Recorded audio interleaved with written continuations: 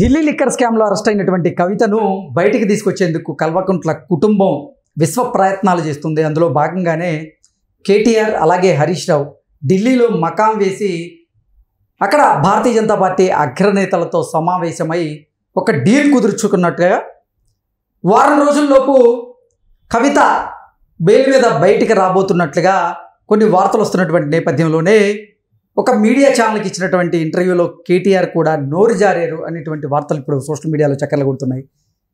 నిజంగా ఈ ఢిల్లీ మద్యం కేసులో కవితకు బెయిల్ రాబోతోందా? ఒకవేళ బెయిల్ వస్తే ఎన్ని రోజుల్లో వచ్చే అవకాశం ఉంది అనే దాని మీద మనం విశ్లేషణ చేసుకునేటువంటి ప్రయత్నం చేద్దాం.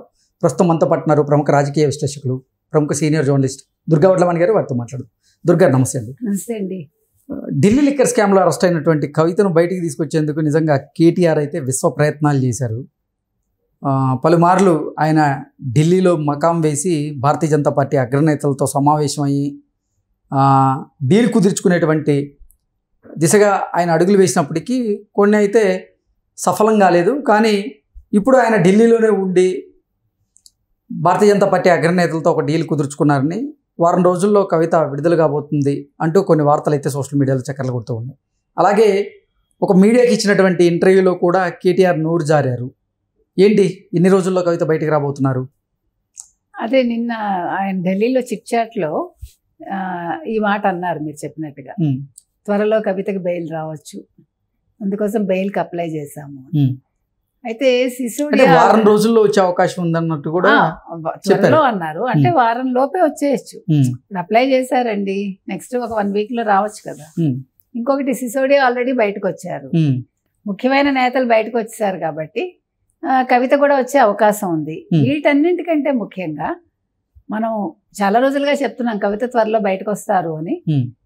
ఎలాగ కేసీఆర్ కూడా ఒప్పందం కుదుర్చుకున్నట్టు మనకి ఇది లోక్సభ ఎన్నికల టైంలో అర్థమైపోయింది లోక్సభ ఎన్నికల్లో ఒక్క సీటు కూడా రాలేదు ఎవరికి? బీఆర్ఎస్కి. ఎనిమిది బీజేపీకి వస్తే ఎనిమిది కాంగ్రెస్కి వచ్చాయి. అంత అగ్రెసివ్గా ఉండే కేసీఆర్ కూడా మాట మారింది కదా. కూతురు దాకా వచ్చేసరికి ఏ తండ్రికైనా ప్రేమ ఉండదా అన్నాడు ఆయన. అది సహజం ఉండాలి. తండ్రికి ప్రేమ లేకపోతే ఎవరికి ఉంటుంది? కానీ ఆ ప్రేమతోటి నువ్వు ఢిల్లీ వెళ్ళి చూడలేదు కదా కూతుర్ని. అమ్మాయికి ఆ బాధ ఉంటుంది. మీరు ఎంత రాజకీయ నాయకులైనా ఒక తండ్రి తర్వాతే మిగతావన్నీ. అయినా కూడా వెళ్ళి కూతుర్ని చూడలేదు ఆయన. కాకపోతే ఇప్పుడు కూతురు బెయిల్ కోసం తీవ్రంగా ప్రయత్నిస్తున్నారు. ఎందుకు ప్రయత్నిస్తున్నారు? కవిత పదకొండు కిలోలు తగ్గిపోయిందిట. కవితకి బీపీ వచ్చింది. హై బీపీతో ఆవిడ బాధపడుతుంది. అందుకని టాబ్లెట్లు వేసుకుంటోంది. ఇవి ఇవాళ కేటీఆర్ చెప్పిన మాట.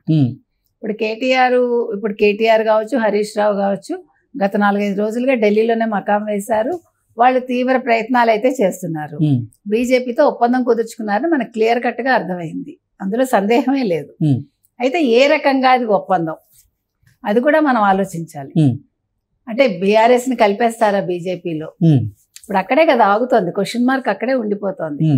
అంటే ఇంత రానున్న రోజుల్లో భారతీయ జనతా పార్టీలో బీఆర్ఎస్ పార్టీని విలీనం చేయబోతున్నారంటూ కొన్ని ప్రధానమైనటువంటి వార్తా ఛానళ్ళు ప్రచారం చేసినటువంటి నేపథ్యంలోనే వాటిని ఖండిస్తూ కేటీఆర్ గారు కూడా ఒక ట్వీట్ చేయడం జరిగింది.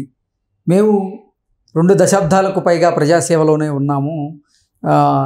రానున్న రోజుల్లో కూడా ప్రజాసేవలోనే ఉంటాము. బీఆర్ఎస్ని ఎట్టి పరిస్థితుల్లోనూ భారతీయ జనతా పార్టీలో విలీనం చేసేటువంటి ప్రసక్తే లేదు అంటూ కూడా ఆయన ట్వీట్ చేయడం జరిగింది. ఈ నేపథ్యంలో కూడా ఆ రకంగా మళ్ళీ అడుగులు పడుతున్నాయి అంటారా?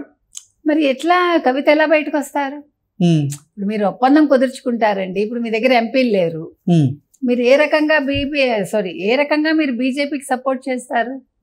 ఇద్దరు పార్టీ విలీనం చేయాలి లేదు మీ దగ్గర ఎంపీల సంఖ్య ఎక్కువగా ఉండాలి. ఒక ఎంపీ కూడా లేరు కదా? ఇది చాలా విచిత్రమైన పరిస్థితి కదండి. రాజ్యసభలో ఉన్నారు కదా? ఇప్పుడు రాజ్యసభలో ఉన్నారు కరెక్టేనండి. ఆ సంఖ్య ఇప్పుడు అవసరం లేదు కదా? మోదీకి అంత అవసరం ఏం లేదు ఇప్పుడు.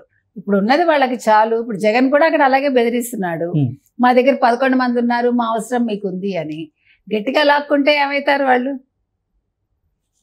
ఇప్పుడు జగన్ దగ్గర నుంచి ఓ ఆరుగురిని లాక్కుని వీళ్ళ దగ్గర నుంచి ఓ ముగ్గురిని లాక్కుంటే ఈ పార్టీలతో ఇంకా పనే ఉంటుంది మాటకి. అది పెద్ద విషయం కాదు కదండి. ఇప్పుడు జగన్ కైనా అది ఇప్పుడు పార్టీ లేదు అంటే అధికారంలో లేదు. కేసీఆర్ కైనా అధికారంలో లేదు. సో ఎవరైనా ఏం చేసుకుంటారు? ఏ పార్టీకి అధికారం ఉంటే ఆ పార్టీతో ఉండాలనుకుంటారు. ఆ రకంగా వీళ్ళ రాజ్యసభ ఎంపీలు అటు వెళ్ళిపోయారు అనుకోండి ఆల్రెడీ మనకు తెలుసు ఎవరు విజయసాయి రెడ్డి వాళ్ళు ట్రై చేస్తున్నారని. అక్కడ విన్నాం మనం. ఇక్కడ కూడా ఇది పెద్ద విషయం ఏం కాదు. కాకపోతే ఏంటంటే ఇప్పుడు బీఆర్ఎస్ని కలపడం వల్ల ఏంటి ప్రయోజనం అంటే ప్రయోజనం ఏం లేదు. కాకపోతే మనం మనం మాట్లాడుకున్నట్టుగా ఇక్కడ ఒక బలమైన లీడరు బీజేపీకి కావాలి తెలంగాణలో. ఇప్పుడు సౌత్లో వాళ్ళు కాలు పెట్టాలంటే బీఆర్ఎస్ లీడర్ ఎవరైతే ఉన్నారో కేసీఆర్ అదే విధంగా కేటీఆర్ అదే విధంగా హరీష్ రావు ఇప్పుడు కవిత బయటకు వస్తే కవిత. వీళ్ళ నలుగురు కూడా గత ఇరవై ఏళ్ళుగా ఉద్యమంలో ఉన్న వాళ్ళు ప్లస్ తెలంగాణ సాధించిన వాళ్ళు తెలంగాణ ప్రభుత్వాన్ని రెండు టర్మ్స్ నడిపిన వాళ్ళు. సో ఇంతకంటే బలమైన నాయకులు దొరకరు వాళ్ళకి. అందులో తెలంగాణ అనే ఒక బేస్ వాళ్ళకు సో ఈ రకంగా వాళ్ళు కనుక ఈ పార్టీలోకి మారితే అది బీఆర్ఎస్కి చాలా వీళ్ళకి ఏ రకంగా అనుకూలం అంటే ఒకవేళ వీళ్ళు నిజంగా మెజారిటీ తీసుకురాగలిగితే ఇరవై ఎనిమిది ఎన్నికల్లో. అప్పుడు మళ్ళీ కేసీఆర్ ముఖ్యమంత్రి కావచ్చు లేదా కేటీఆర్ ముఖ్యమంత్రి కావచ్చు. అంటే ప్రత్యామ్నాయం మనం మాట్లాడుతున్నాం. ఇప్పుడు కాంగ్రెస్ ఈ ఐదేళ్ళలో బలహీన పడింది అనుకోండి. వీళ్ళు బలం పుంజుకుంటే మళ్ళా వచ్చే ఎన్నికల్లో బీజేపీ తరఫున వీళ్ళు ముఖ్యమంత్రి పీఠాన్ని అధిష్ఠించే అవకాశం ఉంది. మళ్ళా పవర్ చేతికి వస్తుంది ఇది కొంచెం లాంగ్ టర్మ్ వ్యూహం అయినా కూడా నిజంగా జాగ్రత్తగా చేసుకోగలిగితే వీళ్ళు. అంటే పావులు కదిపి పునాది పటిష్టం చేసుకుని ప్రజల్లోకి వెళ్ళి నియోజకవర్గాల ప్రజలతోటి మమేకం అయితే అసాధ్యమేం కాదు. ఎందుకంటే ఇప్పుడు నిజంగా చెప్పాలంటే రేవంత్ రెడ్డికి అంత పెద్ద గొప్ప మెజారిటీ రాలేదు. కాకపోతే మెజారిటీ అంటే తను ఒక గవర్నమెంట్ ఫామ్ చేసే మెజారిటీ మాత్రం వచ్చింది. ఇప్పుడు కొన్ని రేవంత్ రెడ్డి చేసేవి ప్రజలకి నచ్చట్ల. మీరు గత ఎన్నికలు చూసుకుంటే ఇక్కడ ఎవరైతే సెటిలర్స్ ఉన్నారో లేదు హైదరాబాద్ సికింద్రాబాద్ తీసుకుంటే వాళ్ళు కేసీఆర్కి వేశారు. కేసీఆర్ అంత తిట్టినా కూడా. రూరల్గానే అతను దెబ్బతిన్నాడు ఈసారి రూరల్గా కూడా ఒకవేళ నెగిటివ్ వచ్చిందంటే ఎవరికి? రేవంత్ రెడ్డికి.